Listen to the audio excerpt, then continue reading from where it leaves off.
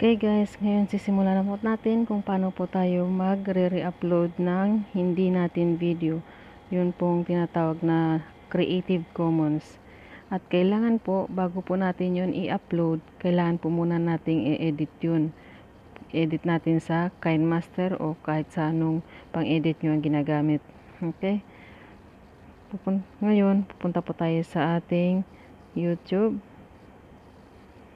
Then, dito po sa taas, magsisearch po tayo ng videos na ating pwedeng i-download. Pwede nating i-re-upload. Okay? How to use Creative Commons. Example lang po ito. Kayo po, uh, kayo po kung ano pong gusto nyo, kayo na po ang bahala. Marami po kayong pagpipilian kung ano pong gusto nyong i-topic. Okay? Yan, yan po lahat ng mga videos na Creative Commons. Then, i-click po natin dito yung filter sa right side sa taas. Then, click po natin dito. Ito siya, Creative Commons. Then, dito sa baba, apply. Okay. So, lahat po yan, puro po siya Creative Commons. Magagamit po natin yan, marire-upload po natin siya. Okay. Ito, uh, halimbawa ito. Kiklik natin ito.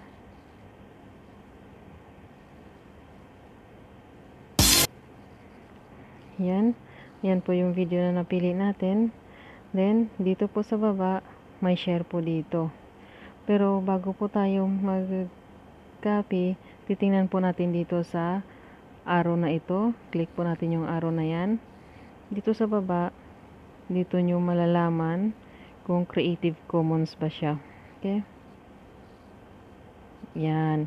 Ito po yung license niya. Andito po yung Creative Commons. Okay? Pero bago po yan, yung bago po yan, okay? Then, pupunta na po tayo dito sa share. I-click po natin yung share. Then, copy link lang po tayo. Okay. Nakapin na po natin. Pupunta po tayo sa Google. Ngayon, dito tayo sa Google.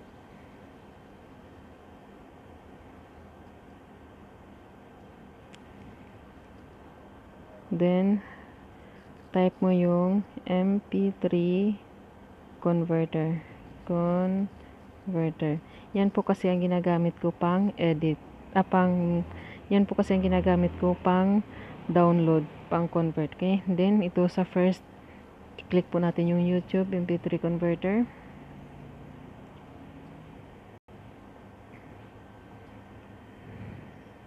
Then, dito po sa baba, please insert a valid video URL. Yung kinapi nyo po kanina, ipipress nyo lang po dito, long press nyo lang po. Kasi lalabas po yung paste, then click yung paste. O, ayan na po siya. Then dito sa baba, may MP3, may MP4. Ang MP3 po, audio lang po siya. Kaya dito po tayo sa MP4. Click po natin yung MP4. Then, click convert. So, wait lang natin na lalabas yung download. Yan, ito po yung download. Click po natin yung download. Hmm. Ayun na po siya. Downloading na po siya. Yan, malapit na po siyang matapos. Yan, tapos na po siya. Then, click po natin. Tapos na po siya, ba? Then, click na po natin ito.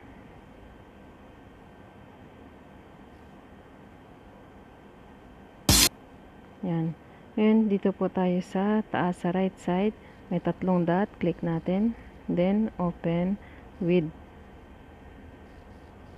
Then, dito po tayo sa photos. Okay. So, doon na po siya sa photos natin. Ngayon, e-edit po natin siya muna bago po natin siya i-upload. Okay. Punta muna tayo sa KineMaster natin. Sa KineMaster or KineMaster or what na ano yan tawag nyo. Okay. Punta po tayo dito. Yan po kasi ang ginagamit ko pang edit ng video, yung KineMaster.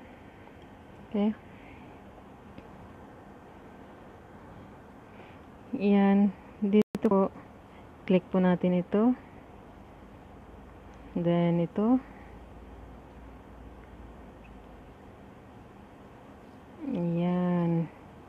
Ngayon, click po natin itong media. Then, yung dinownload po natin kanina, ito po siya. Okay? Click po natin yan. Then, click siya ulit. Yan. Nandiyan na po siya. Then, i-click po natin yung check sa taas. Okay? Yan. Yan na po siya. Kailangan, i-edit po natin yan. Mag-i-edit po tayo dyan. Hindi natin pwedeng i-direct lang po na i-download. Kailangan po, i-edit po natin siya.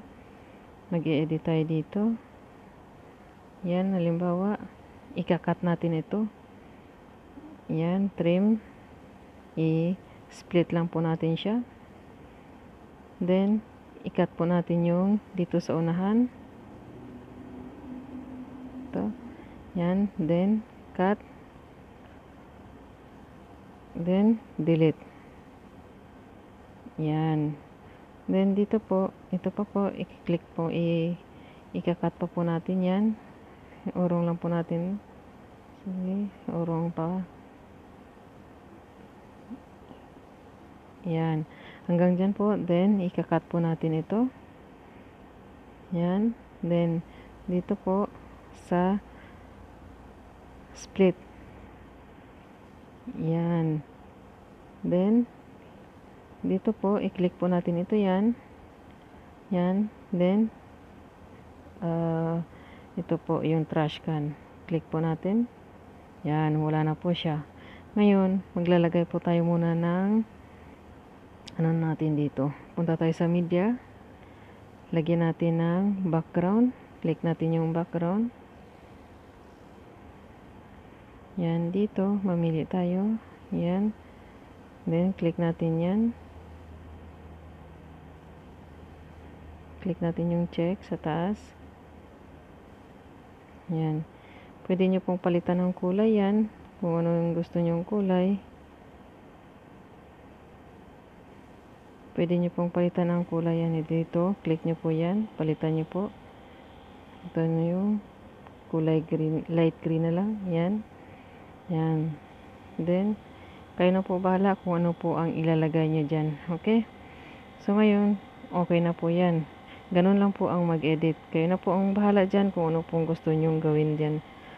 Kayo na dito. Yung sa layer, nandyan, magdadagdag kayo ng pictures, mag-overlay, effect, text. Yan, kayo na pong bahala. Tapos yung audio, gusto nyong palitan yung audio, yan po yung audio.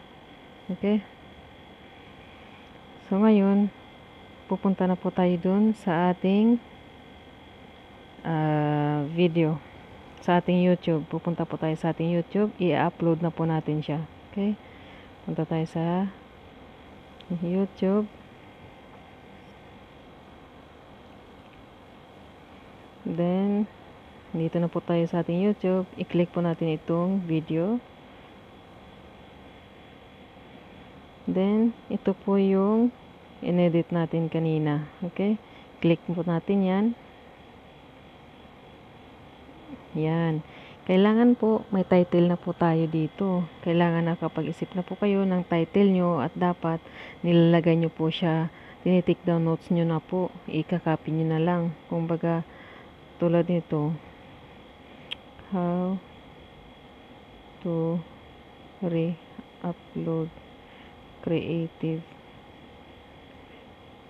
common videos yan yan po siya then uh, pupunta po muna tayo dun sa notes natin kasi dun po nakalagay yung aking um, dito pupunta po tayo dito nandito nakalagay yung aking uh, description yan ito click lang po natin siya yan, yan po yung description ko. I-copy paste lang po natin dito. I-press lang po natin siya. Then, select o lang po. Yan. Then, copy. Yun, balik po tayo doon sa ating in-upload. Doon sa YouTube natin. Yan, dito po. I-paste lang po natin dito sa description natin. Yan. Yan na po yung description natin. Tsaka dito po, kailangan naka-private po muna tayo. Kasi po, kailangan maka-private po muna tayo dito kasi para wala pa pong makapanood.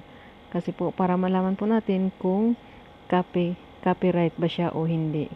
Pag naka-private po siya, pag in-upload nyo na po siya, malalaman nyo po siya kaagad kung uh, kung na-copyright claim ba siya or what siya. Kaya, kailangan naka-private po muna siya. Okay? Hindi po muna natin siya ipapakita sa tao. Then, kailangan po dito yung location. Kailangan po yung location dito. Adjman. Yan.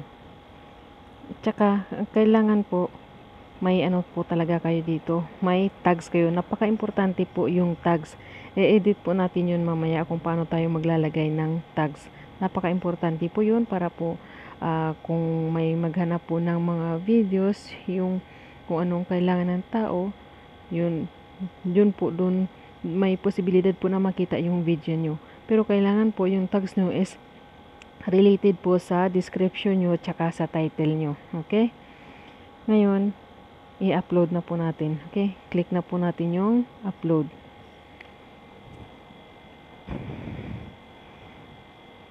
Yan, uploading na po siya. Yan, uploading process has started. May nakita po kayong kandado kasi po naka-private pa po yan. Hindi pa po nila mapapanood yan. Tsaka nyo na po i-ayusin yan kapag ka okay na siyang lahat. Oh, okay na po siya. Delete, uh, ano na po siya. Ready to watch na po siya. Okay? Ngayon, i-edit po natin yan ulit. Maglalagay tayo ng ng tags. Okay? Then, edit. Yan. Dito po, dito po sa tags. Yan po kung ano yung nasa description nyo po ito lang po ilalagay nyo dito. Kailangan po ganun yung hahanapin nila. Okay? Ikakopy ko lang po ulit. Kayo na po ang bahala ang maglagay ng tags nyo okay? Kayo po yung bahalang maglagay ng tags nyo mag, mag-isip po kayo ng mga tags na maaring hahanapin ng tao. Okay then ipipaste po natin dito.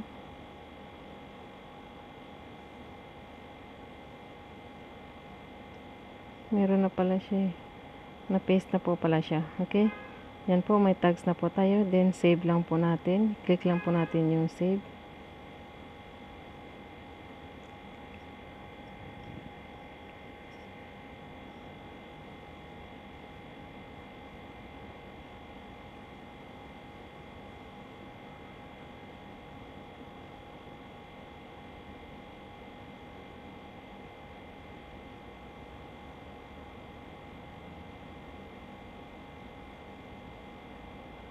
Okay, ngayon isi-save na po natin siya. Click po natin yung save.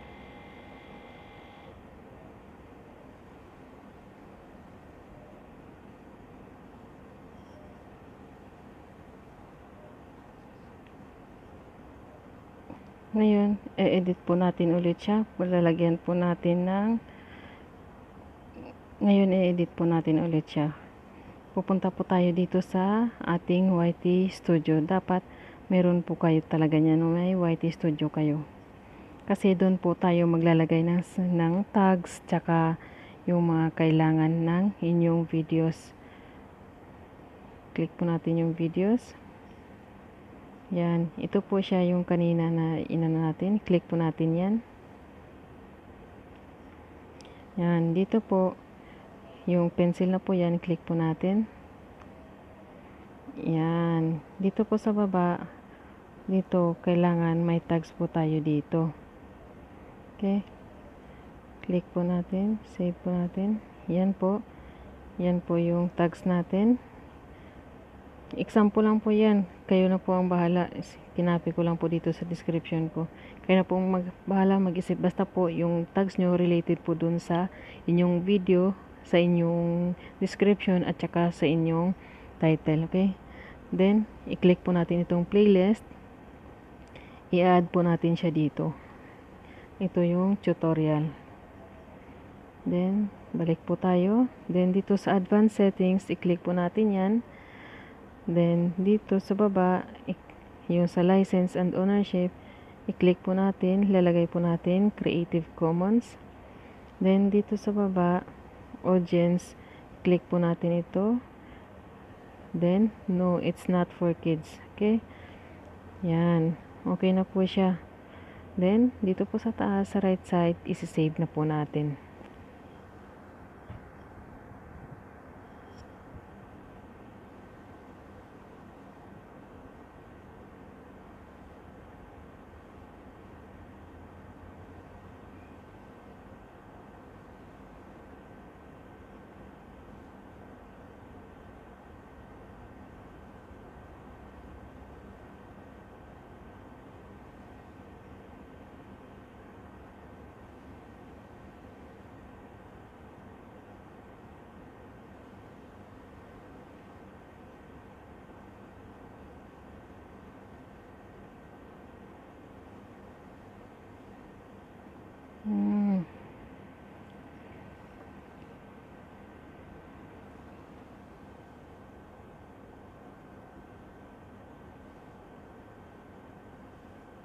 Ngayon, dito na po ay pupunta po ngayon pupunta po tayo dun sa ating YT sa YT studio natin dito sa YouTube studio natin. Then hanapin po natin yung videos na in-upload natin ngayon lang. Ito po siya. Okay? Then, click po natin yan. Then, dito po sa taas may pencil. Click po natin yan. Then, dito po, edit thumbnail. Okay? Tapos, dito, sabi ko nga po kanina, kailangan may tags po kayo dito. Kaya, mag-isip po kayo ng tags na maaari nyong ilagay dito. Okay? Paano mag edit ng video. Okay? Damihan nyo na lang po. Kayo na po ang bahala kung ano po ilalagay nyo dyan. Okay? Then, dito po, sa playlist, kailangan, dito po siya, nakalagay po sa, sa tutorial. Kailangan po naka-playlist po tayo. Okay? Then, kailangan po naka-private po siya dito. Okay? Then, dito, maglalagay po tayo ng thumbnail. Click natin ito. Then, dito sa baba, click po natin yan. Yan, ito po yung ating thumbnail. May ginawa na po akong thumbnail. Okay. Click po natin yan. Yan, yan po ang aking thumbnail din. Click, select. Okay, then, dito sa advanced settings, click po natin. Then, dito po, kailangan naka Creative Commons po siya. Then, dito po, no, it's not for kids. Okay? Kailangan po, no, it's not for kids. Yan. Then, isi-save na po natin.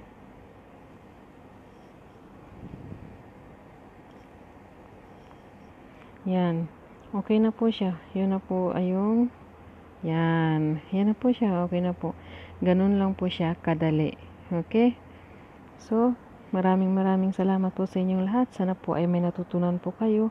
Ganyan lang po ang pag-edit ng, re, re, ng Creative Commons at kung paano po natin i-edit at kung paano po natin siya lalagyan ng mga tags or thumbnail at kung paano po siya ma-upload. Okay? Thank you, thank you so much po. Thank you so much. God bless.